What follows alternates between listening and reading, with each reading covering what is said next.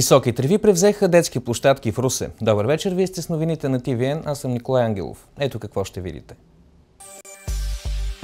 Стафилокок е причинил разстройството на децата в Беленско преди месец.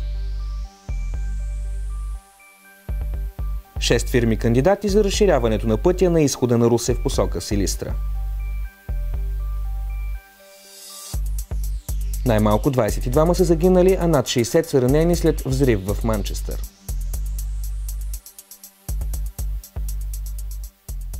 Тревните площи около детски площадки в русинския квартал Дружба 3 са неокосени, опакват се жителите и се притесняват от бум на влечуги. Хората от квартала казват, че всяка година ситуацията е една и съща. В това състояние намираме някои райони на квартали в Русе. Освен, че гледката не е приятна, тревата на места е по-висока и от метър, а неокостената растителност крие опасност. Терените да се превърнат в развъдник на кърлежи и не само. Детските площадки в квартал Дружба изглеждат по този начин. Тук, измежду треволяците и детските катерушки, децата би следвало да си играят. Оказва се, че катерушките и детските приспособления не се използват от децата, заради тревата, която не е окосена. Трябва да се окоси тревата, да се премахнат кърлежите. Тази площадка е напълно изоставена. То няма как да играе дете в нея. Екипът ни подаде сигнал до Община Русе за проблема, който засяга не само гражданите от крайните квартали, а всички. Шестима участници са допуснати до отваряне на ценовите оферти в обществената поръчка за реконструкция и отвояване на пътното платно на пътя Русе-Тутракан Силистра при входа на Русе. Бъдещият изпълнител ще трябва да реконструира отсечка от път, който съвпада с булевард Тутракан в Русе и продължава към изхода на града посока Силистра.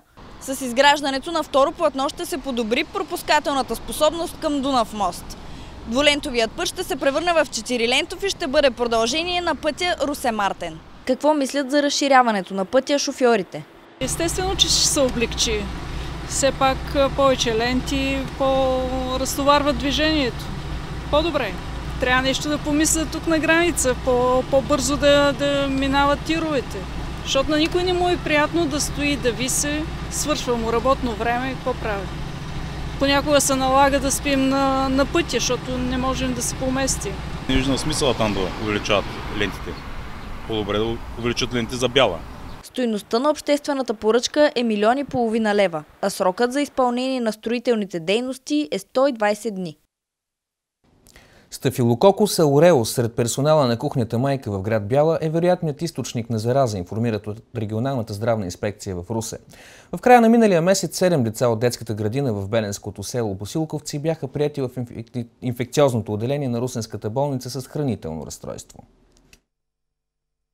Заболелите деца са консумирали храна от кухнята майка в бяла, която е била заразена вторично чрез замърсени ръце на персонала при неспазване на правилата за лична хигиена. Случаите са класифицирани като вероятни заради наличието на клинични критерии при всички заболели и епидемичната връзка между тях, която се определя от консумацията на една и съща заразена храна и открития общ източник на зараза. С хранително разстройство бяха общо 15 души, 14 деца на възраст от 2 до 7 години години и една учителка. Те са от градината в село Босилковци и от детско заведение в град Бяла. Само тези от Босилковци бяха настанени в инфекциозното отделение на Русенската болница. При проведените микробиологични изследвания не са открити патогени чревни организми. Сблъсък между два тира в Силистра се размина без сериозно пострадали, но с материални щети. Инцидентът стана рано от тази сутрин на входа на града. Единият камион е бил паркиран в дясно от пътя в изчакване да премине границата с Румъния. Вторият се е врязал в него с висока скорост. При удара е разпиляно половината от товара на спрелия тир амония Василитра. Шофьорите не са пострадали сериозно. С комоцио, без опасност за живота, в болницата за наблюдение е оставена само 41 годишната жена, която е била в ударения камион. Към момента няма данни водачите на двата автомобила да са употребили алкохол. Участъкът, където се е случила катастрофата, не е опасен. Предпоставките за подобни инциденти обаче са на лице заради километричните опашки от тирове, които вече цяла година турмозят силистренци. Минималната пенсия от 1 юли тази година ще се повиши от 161 лева и 38 стотинки на 180 лева, а от 1 октомври с второто увеличение за годината ще достигне 200 лева.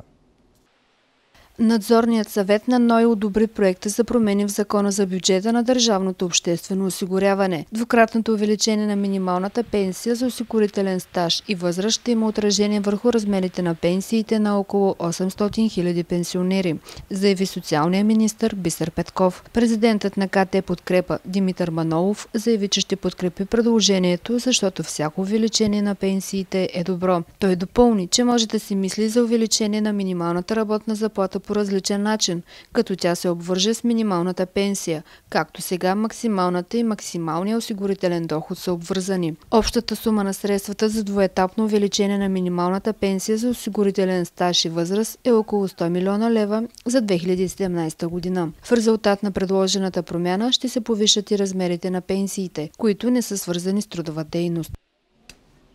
И към водещата международна новина. Паника и смут предизвика камикадзе в Манчестър. Поне 22 са загинали, ранените са над 60 след взрив на атентатор малко след приключването на концерта на Ариана Гранде на стадион Манчестър Арена. Малко след приключването на концерта на Ариана Гранде на стадион Манчестър Арена, Камикадзе предизвиква два взрива и всява паника и ужас сред феновете на певицата. Веднага след получаването на сигнала, към залата се отправили полицейски коли и линейки, както и специален екип за обезвреждане на бомби. Участъкът е бил отцепен на движението спряно. По последни данни, загиналите са 22, а ранените вече са 60. Първата идентифицирана жертва е 16-годишно момиче, което ден преди концерт е публикувало пост за огромното си вълнение за предстоящото събитие. Шестима наши сънародници са били в екипа работещ на стадиона. Няма данни за пострадали българи. Още с нощи са били публикувани обяви за издирване и призиви за помощ. Родители продължават да търсят децата си. Трагедията на стадиона се определя като вероятен терористичен акт. За сега не установена самоличността на атентатора. Има предполагаеми версии, че е част от ислямска държава, породени от съобщения, споделени снимки и видеоклипове, насърчаващи атаки и конкретни заплахи за Запада и САЩ, публикувани 4 часа преди концерта. Групировката Ислямска държава пое отговорността за терористичния акт в Манчестър чрез публикуван видеоклип в мрежата. Стана ясно името на заподозрения за взривовете на стадион Манчестър Арена. По неофициална информация това е Салман Абеди на 23 години, който не за първи път попада в полезрението на британската полиция. Ръководители на борбата с тероризма разследват дали е действал сам или като част от терористична група. Продължаваме с още новини от света. Северна Корея открито нарушава резолюциите на съвета за сигурност, като засилва балистичните си дейности. ООН е иска от източноазиатската държава да прекрати всякакви опити с балистични ракети, застрашаващи регионалната и международната сигурност.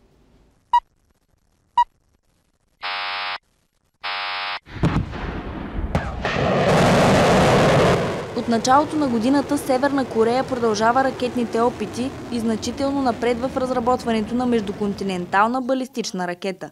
По повод поредните изстрелвания на ракети, Пхенян е обвинен в нарушение на сигурността и е призован отговорителя на Световната организация Стефани Дюжерик да обмисли възобновяване на смислен диалог. Южнокорейци са на протест срещу ракетната програма на Северна Корея – по искане на САЩ, Южна Корея и Япония, съветът за сигурност на ООН ще проведе заседание при закрити врата за Северна Корея. Представителят на Франция в ООН Франсуа Дюлатър определя ракетните действия като поредната недопустима провокация, които изискват бърза и твърда реакция. Целта на свикването на съвета е да наложи нови санкции и искане за по-добро навременно прилагане на вече съществуващите.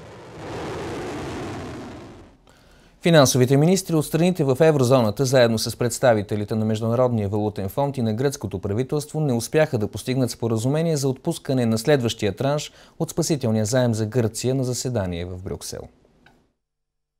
Ерон Дейселблум лично съобщи за отказа от споразумение за облегчаване на гръцкия дълг. Според председателя на Еврогрупата са необходими още дискусии преди следващото заседание на 15 юни в Люксембург. Въпреки огромния интерес, който Гърция е направила относно изпълнението на пакета от политически мерки и економически реформи, все още има неизпълнени дейности от страна на Атина и нужни проверки от институциите. Гърция вече е в етап на изпълнение на третата международна програма за макрофинансова помощ, а общият обем на всички програми, прияти след 2010 година, вече надхвърля 300 милиарда евро. Ще има ли изход от финансовата криза в Гърция, предстои да разберем. Останете с нас до края на емисията, ще видите още. Болницата в Шумен са загуби от милиони и половина лева за 2016 година. Задържаха двама мъже за незаконен добив на дървесина в Ловешко.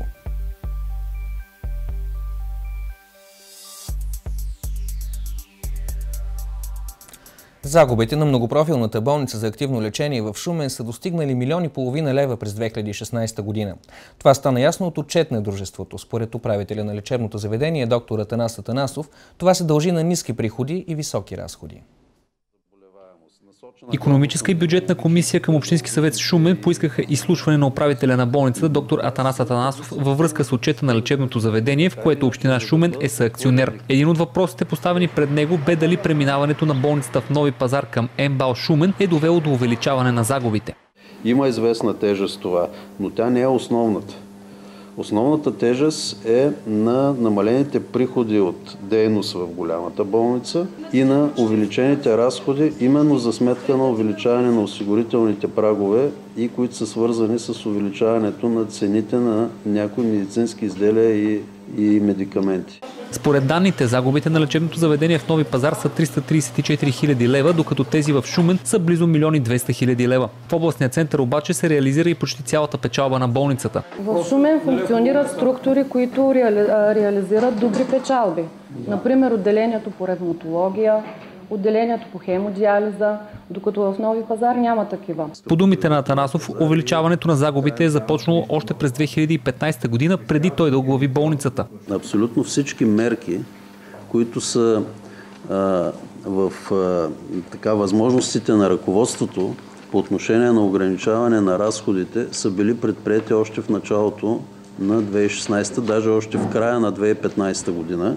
Доктор Атаназов посочи, че са били редуцирани разходите за транспорт, електроенергия, както и намаляването на административния персонал за сметка на медицинския. 43 годишен мъж от старата столица стана донор и спаси тежко болни. Той е бил пациент на Великотърновската болница доктор Стефан Черкезов, но изпада в мозъчна смърт въпреки грежите на лекарите. Близките вземат трудното решение да дарят органите. Така мъжът стана третия донор в Велико Търново от началото на годината. Трансплантациите на сърце и черен дроб са извършени на пациенти в столичната кардиологична болница и университетската Лозенец. В момента за трансплантация на сърце в България чакат 33 души, а за черен дроб 52. Починали пациенти тази година са дали шанс на 16 души да продължат да живеят. 10 от тях вече имат нов бъбрек, на двама е трансплантирано сърце, а на 4 черен дроб. От Министерството на здравеопазването предлагат болниците да не поддържат живота на пациенти в мозъчна смърт, ако близките не се съгласят да дарят органите им. Идеята е да се стимулира донорството. България е на последно място по съгласие съгласие за даряване на органи в Европейския съюз. Готови ли са да станат донори и при какви условия споделиха великотърновци? Без условия. Съгласна. Съгласна съм. Защото големия ми син му е сменя на два пъти кръвта. И трудно се намира кръв. Аз съм за. При условие, че се помогне на човека. Отиде точно за човека, за който трябва да бъде добро, добро нещо е. Така поне се спасява един живот. Трансплантацията е едно от най-големите чудеса на съвременната медицина, която позволява на стотици хора с много тежки заболявания да продължат живота си напред. За съжаление, нуждаещите се от такива операции са много повече от наличните органи или тъкани, а листата на чакащите само в Европейския съюз е 50 000 души. Някои от тях чакат с години шанса си за нов живот, а други не успяват. Всеки ден заради липсата на органи в Европейския съюз умират по 12 души. Полуфабрикатите и пакетираните продукти крият риск за децата. Ето какво ни съветва една майка, която сама приготвя храната за децата си. Венцислава Алтонян е майка на три деца. Според нея храните, които могат да се купят от магазина, не са подходящи за мълчугани. Затова тя предпочита да приготвя всичко вкъщи. Съдържат много вредни съставки, като консерванти, ГМО, дори канцерогенни съставки, които водят до алергии, до рискови тежки болести, заболявания. Важно е да се дава личен пример и ние самите да се храним здравословно, категорично е Венцислава. Трябва да е разнообразно храненето, трябва да има много зеленчуци, плодове, да се консумират пълнозърнести храни, нали, за да се набавят фибри. Тъй като децата обичат сладко, тя намерила подходящ заместител и на това изкушение, а именно сурови бомбони. Те включват слънчогледов тахан, лешници, мед, рошково брашно и кокосово масло. Кога да спрем? Ами когато усетиш, че е станало хубаво топченци. А, така. В нашето тяло има много войници, които стават по-силни, когато се храним здравословно. И колкото по-силна е нашата армия в тялото, по-лесно ще побеждаваме вирусите и болестите. Така приготвената храна е по-скъпа, но всеки трябва да направи нужното за децата си, за да са здрави, категорично е Венцислава. Задържаха двама мъже за незаконен добив на дървесина в Ловешко. В края на миналата седмица е проведена операция по опазване на горите в района на село Славщица в община Огърчин. В нея са участвали шестима служители на регионалната дирекция по горите в Ловеч и трима полицейски служители. Операцията е подготвена предварително. На място в гората в 7 часа са задържани двама нарушители да секат незаконно дървета в държавна горска територия и камион, в който били натоварени 8 кубика дърва. Заловените са от селата Галата и Лесидрен. И двамата са стари познайници на полицията. По случая е образувано досъдебно производство. От този сезон в курортен комплекс Албена се въвеждат альтернативни форми на предвижване на туристите и обслужващия персонал. Изгражда се ескалатор, който ще свързва така наречените горна и долна зони на вакансионното селище. Внедряват се и електрически велосипеди, като целта е максимално да се ограничи движението на автомобили в комплекса. Част от електровелосипедите вече са на разположение на гостите в Албена. Те са немски с три режима на управление – стандартен, комбиниран и изцяло електрически. В момента в Албена има 11 електрически велосипеда. Това е новият альтернативен начин за предвижване в вакансионното селище. До края на сезона общия брой на велосипедите ще станат 20. Първият ескалатор ще бъде пуснат през юни. Той е подобен на тези в моловете, но ще бъде покрит с лека конструкция, отворена отстрани и няма да има нужда от допълнителна вентилация. Основната цел е да се облегчи предвижването свободното на хора от горната зона, която е по-тиха и по-спокойна, към плажната зона на обена. Те ескалаторите сутрин ще се движат посока надолу, след 11 часа ще обръщат посоката нагоре. До година се предвижда монтаж на втора линия. Ще има видеоконтрол, за да се прецени натовареността и да се организират двупосочно. Изложба от артефакти, иззети от иманяри, подреди Силистренският исторически музей. Ценните антики бяха отнети от окръжния съд в полза на държавата и предоставени от НАП Варна. Става въпрос за сериозна колекция от бронзови и медни монети и други ценности от преди 2000 години. Находките бяха открити след акция на полицията преди две години в домовете на маняри от Главиница.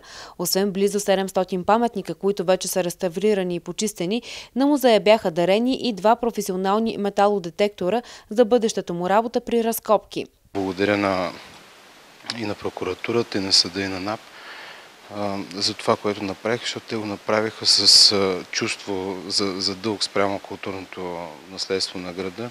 Редовно получаваме постъпления, но това се отличава с, първо с броя на предметите, които са предадени и с тяхната ценност.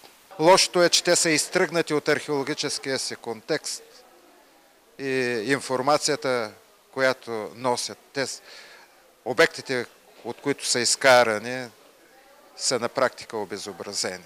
Сред експонатите са и рано-християнски кръстове, като единият е от 5-6 век наситен с много символи, а другият с надписи на гръцки.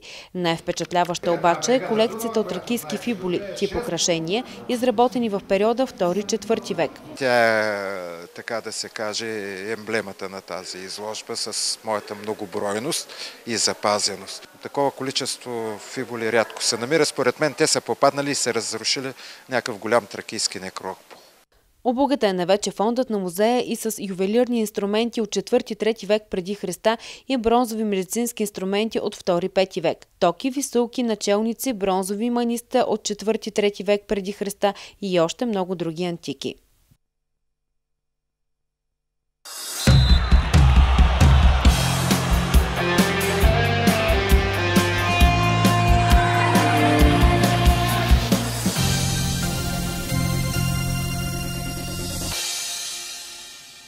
Пет медала завоюваха състезателите на спортен клуб Шуменска крепост от международния турнир по кикбокс в Унгария. Те донесоха едно златно, две сребърни и две бронзови отличия от Будапеща. И петимата състезатели на Шуменския клуб се върнаха с медали от провелото се в Унгария състезание. Те бяха посрещнати на гарата в Шумен с народна музика и хора. Абсолютно всичко от себе си, каквото беше възможно го направиха. И най-важното, че няма такива сериозни контузии, живи здрави. То е нали, световната купа, където нали, нямаше слаби участници, доста силни играчи имаше от целия свят. Димитър Стоянов спечели световна купа в категория до 60 кг при юноши старша възраст. На финала той не остави шанс на представител от Италия в стил лоу-кик. Това е първото международно състезание на Митко. Доста трудности имах до нея с много усилия. Не бяха леки срещи. Направих каквото трябваше и резултат се вижда. Чувство е много приятно така да виждаш колко много хора са с тебе и те подкрепят в това, което правиш. Друг медал за клуба донесе Иван Иванов. След убедителна игра той стигна до финал в стил лоу-кик при мъжете в категория до 86 кг, където отстъпи на състезателя от Украина Юрий Зубчук и взе среброто. Финал играе Виктор Иванов в стил К1 при юноши младша възраст с тегло до 54 кг. Шуменският боец отстъпи пред представител на Израел и се окичи с сребро при дебютното си участие в състезание зад граница. Друг наш боец, Полина Галинова, отстъпи минимално на представителка от Сърбия в категория до 60 кг стил лоу-кик при девойки младша възраст. Тя заслужи бронзово отличие. След много мъжка игра, Никола Николов отстъпи пред представител на Украина в категория до 71 кг при юношите старша възраст и взе бронз. Под надслов Нощта на легендите ще премине първата футболна среща между ветераните на Етър и Локомотив Горна Оряховица. Тя ще се състои тази събота по случай празника на града. Три поколения спортни величия ще се изправят едни срещу други на обновения спортен стадион в Горна Оряховица. Сред тях ще бъдат безспорните легенди Бончо Генчев, Ивайло Йорданов и Красимир Балаков. Редица местни футболни легенди ще излязат на обновения терен в Горна Оряховица тази събота. За полянковците вече с нетърпение очакват сблъсъка на няколко поколения шампиони и любимци на публиката. Тъй като Горна Оряховица се смята за град с дълголетни футболни традиции, очаква се посетителите да бъдат между 3 и 5 хиляди. Едно от интересните неща, които ще се случат тази събота е, че на терена ще се дадат среща три емблематични фигури за българският футбол. Играли заедно в националния отбор, стигнали до бронзовите медали в САЩ 9-4, са отборници в един от най-титулованите изобщо европейски грантове Спортен Лисабон, но непримирими съперници по българските терени с фланелките на Локомотив Етър.